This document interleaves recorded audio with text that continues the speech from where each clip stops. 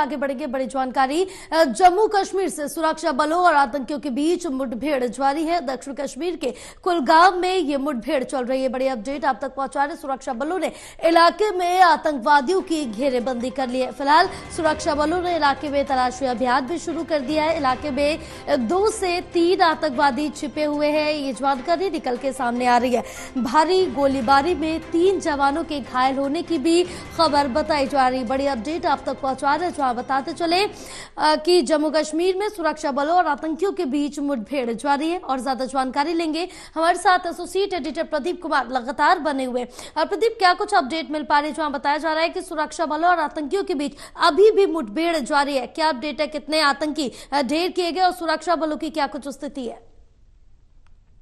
देखिए एक बड़ा ऑपरेशन इस वक्त चल रहा है। जम्मू कश्मीर के कुलगाम के देवसर इलाके में ये मुठभेड़ इस वक्त चल रही है जिसमें भारी फोर्स तैनात है सेना के जो सुरक्षा कर्मी और इसके अलावा पुलिस स्थानीय सुरक्षा कर्मी वो मौजूद हैं। और पूरे इलाके में नाकाबंदी की गई है। जो तस्वीरें सामने आई हैं तो सर्च ऑपरेशन घेराबंदी वो चल रही है। इस बीच दो से तीन आतंकवादी छिपे हुए हैं। इस क्षेत्र में ये जानकारी ड्रोन के ज़रिए मैपिंग की गई है और उसके बाद वहाँ पर एक बड़ा इनकाउंटर मुठभेड़ का वो देखने को मिला है।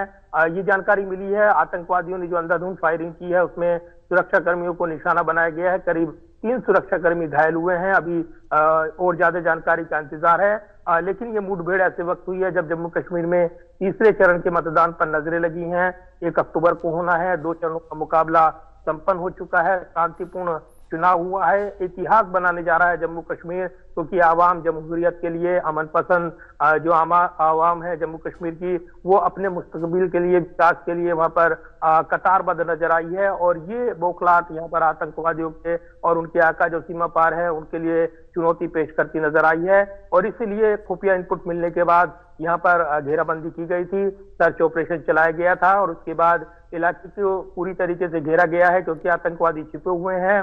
और जो मुठभेड़ चल रही है उसके बाद आतंकवादी को उनके अंजाम तक पहुँचाने में सुरक्षा कर्मी लगे हुए हैं। तो अभी पूरी जानकारी यहाँ बाकी है लेकिन एक बड़ी मुठभेड़ इस वक्त कुलगाम इलाके में देवसर इलाके में वो चल रही है और सर्च ऑपरेशन लगातार चल रहा है। बिल्कुल तमाम जानकारी साझा करने के लिए प्रदीप बहुत शुक्रिया आपका।